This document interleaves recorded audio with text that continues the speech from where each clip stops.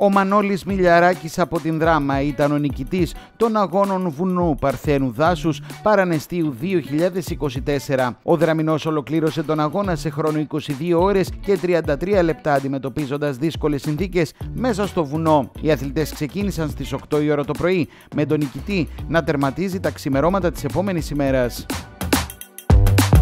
Για μας είναι χαρά που βρίσκεται όλος ο κόσμος εδώ. Να έχετε πάντα έτσι θετική άμπρα. Οι αγώνες είναι υγεία.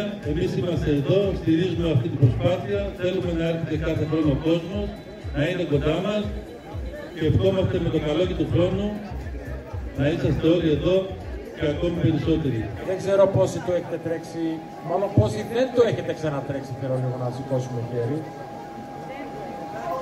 Καινούργια πελατάκια.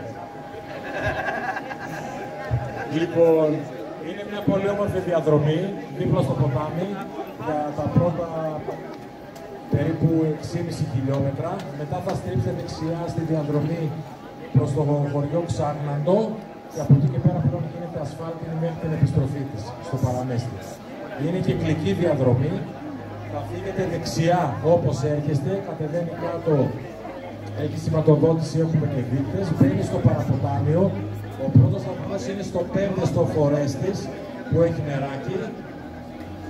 Περνάμε ευθεία, έχω πάνω τον έσω στο αριστερό μου χέρι, όπως πηγαίνω, ακολουθώ τα σήματα που γράφουν νι ταφ, Νέστος Trail.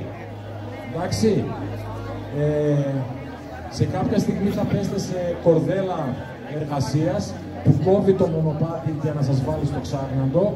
Δώστε λίγη προσοχή εκεί, κυρίως η πρώτη καμιά φορά πηγαίνοντας γρήγορα έχουν ευθεία. Λοιπόν, και από το ξάγναντο και μετά είναι ο δεύτερος σταθμός μέσα στο νοικισμό, πάλι με νεράκι, και επιστροφή στο, στο Πανανέστη. Το πρώτο μισό, λόγω της κύφης του ποταμού, έχει κάποια σημεία τα οποία χρήζουν προσοχής. 10, 9, 8, 7, 6, 5, 4, τρία, δύο, ένα. Φύγαμε. Καλή επιτυχία σε όλους. Καλή επιτυχία να έχετε παιδιά. Θα απολαύσετε. Μπράβο.